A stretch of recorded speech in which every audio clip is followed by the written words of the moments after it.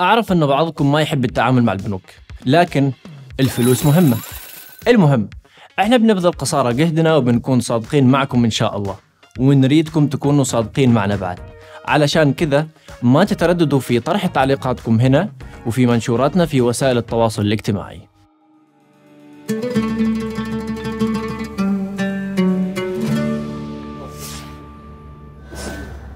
هو 250 ألف القرض صراحة مناسب زين الش- الشباب ترى أنا متردد.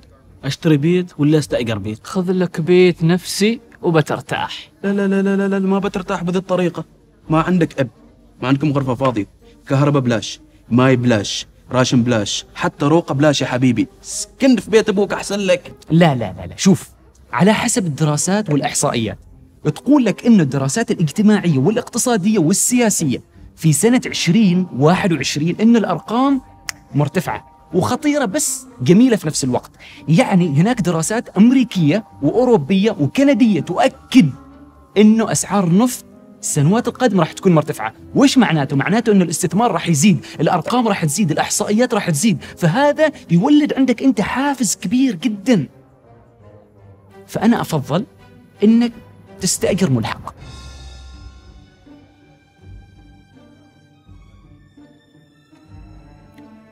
اختيار مكان تعيش فيه.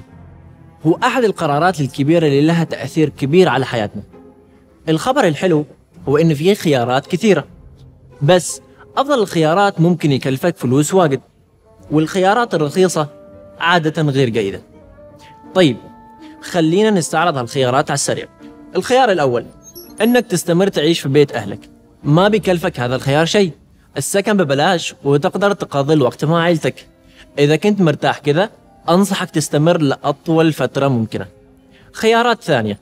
تقدر تستأجر شقة أو بيت وتقدر تحصل على قرض وتشتري شقة أو بيت. وتقدر تحصل على قرض وتشتري أرض وتبني بيت. هذه هي خياراتك فعليا. الخيار الأفضل اللي بيناسبك بيعتمد على المكان اللي بتعيش فيه وتخطط تستمر تعيش فيه. خارج العاصمة مثلا يعتبر خيار شراء أرض وبناء بيت خيار ممتاز. لأنه ما مكلف. لكن إذا كنت تعيش في مدينة أو تريد تعيش في مدينة الأغلب إنك بتشتري أو تستأجر. إذا كنت بتستأجر فهذا يعني إنك ما مضطر تتخذ قرار كبير في الحياة. وهذا شيء طيب. من ناحية ثانية هذا الإيجار كله بيروح لشخص آخر. علشان كذا ممكن يكون الموضوع مكلف. وإذا ما يعجبك تستأجر الأغلب إنك تفضل تشتري. ويعني بعد إنك بحاجة لتفاصيل كثيرة قبل اتخاذ هذا القرار المهم. طيب خلونا ننتقل مباشرة إلى الدرس الأول.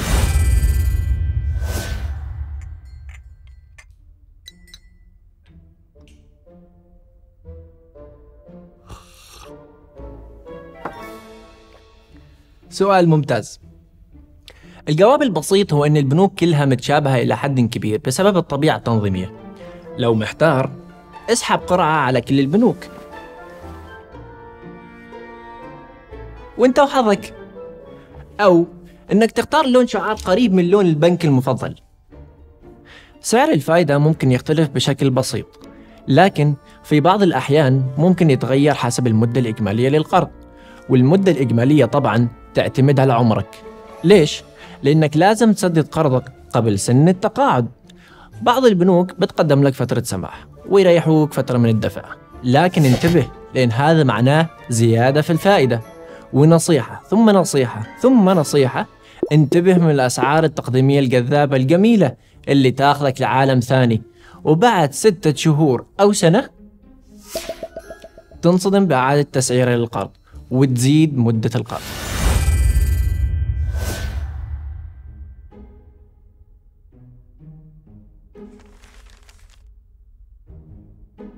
شراء بيت هو صفقة كبيرة. فمن المنطقي إنك تسأل أشخاص مختلفين وإنك تحصل على وجهات نظر مختلفة. في البداية كلم بعض موظفي البنوك. ادخل وحدد موعد واسمع اللي يقولوه. زورهم واسمع عروضهم. هذا بيعطيك فكرة جيدة عن الخيارات المتوفرة وإنت تشوف الأنسب لك. إذا عندك أهل أو معارف جيدين في التعامل المالي وعندهم ممتلكاتهم الخاصة كلمهم بدون تردد. بيكون عندهم منظور مختلف عن البنوك وأكيد عندهم تجارب حياتية قيمة. وحاول قدر الإمكان إنك تتجنب النصائح العقارية منه. كلمتك مرة مرتين ثلاث قلت لك. عمك. ذاك اللي يعرف كل شيء. وعليه أربع قروض عقارية. لا وبعد زايدينها بقرض السيارة الأمور كلها ميسرة. ما تفكر في أي شيء. زميلك في العمل. واللي يعرف أسرار تخليك تحقق أرباح بنسبة 200% لكنه ما صار مليونير لسبب مجهول أنا ما أعرفه. والله يمكن أنتوا تعرفوا أصدقائك اللي يتكلموا مثل أساتذة الإقتصاد. ولكن ما عندهم خبرة في الخدمات المالية. فكر بمخك شوية. أي إنفلونسر. تعرفوهم كثيرين. عنده الكثير من النصائح عن كيف تعيش حياتك ولكن ما عنده خبرة فعلية لأي شيء يتكلم عنه. لازم يكون عندك أهم ثلاث نقاط الأولى لازم تكون جميل. نصيحة؟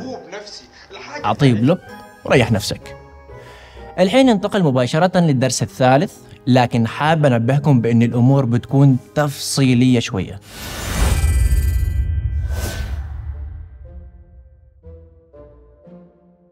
شراء بيت هو صفقة كبيرة مثل ما قلنا. والصفقات الكبيرة معناتها مستندات ووثائق وهالشيء متعب دائما ولكن بمجرد إنك تبدأ بتشوف إن الأمور تخلص أسرع مما تتوقع. هذه أهم الوثائق والمستندات اللي بتحتاجها.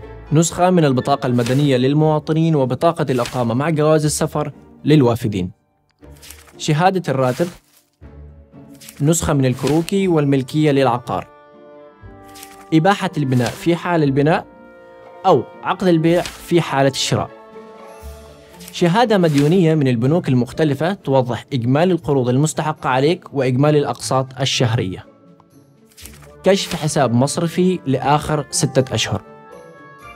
تثمين العقار في حالة الشراء أو البناء. طبعا ما أقدر أشرحها كلها الحين لكن لو دخلتوا الموقع الإلكتروني للاستدامة لبنك عمان العربي بتحصلوا القائمة بالكامل وبالإمكان نسخها أو تصويرها. وتأكد بعد أن هذه المستندات ما منتهية لأنه إجراءات تجديدها تاخذ وقت.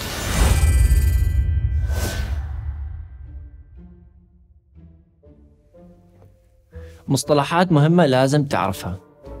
DBR Debt Burden Ratio نسبة عبء الدين. LTV Loan to Value Ratio نسبة التمويل العقاري. طيب نسبة عبء الدين يجب ألا تتجاوز الستين في المية من إجمالي راتبك.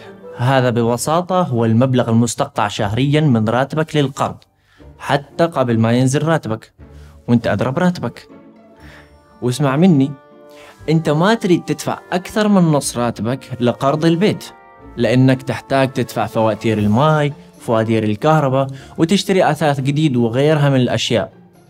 وهالله الله في الراتب. ولا تفكر إنك بتحصل ترقية قريب. الحياة مليئة بالمفاجآت. ما تعرف مو يطلع لك. أما بالنسبة لتمويل LTV سيتم تمويل 90% من قيمة العقار في حال أول عقار لك. أيوه صحيح. LTV يعني إن البنك بيقرضك فقط حتى 90% من قيمة العقار. أعرف الموضوع كأنه معقد شوي لكنه أسهل مما يمكن. أنت فقط تحتاج إلى وضع خطة للحصول على أول إيداع بنسبة 10% وهذا يغطي النسبة اللي تحتاج تعرفها.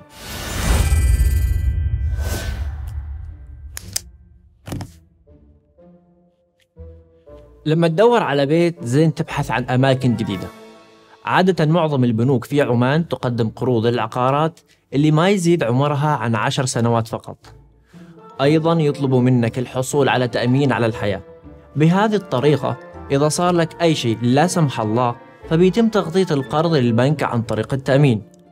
أعرف أن هذا في نوع من التهكم لكنه ممكن يوقف ديونك عشان ما تنتقل إلى أفراد عائلتك. بعض البنوك تقدم تأمين على الحياة خاص فيها. بس تأكد من أنك تعبي البيانات بكل صدق وصراحة وتأكد من قراءة الشروط والأحكام. أعرف أعرف الموضوع ممل. لكن هذه الأشياء مهمة وضروري تقرأ حتى لو نص ساعة الكلمات الصغيرة. وهذا ممكن يجنبك الكثير من المشاكل في العشرين سنة الجاية.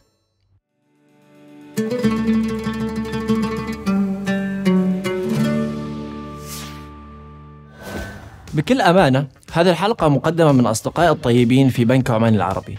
ولي عودة أخرى الأسبوع المقبل مع الحلقة الثانية تمويل السيارة. اضغط فوق للاشتراك والحصول على كل جديد. أو لا تضغط.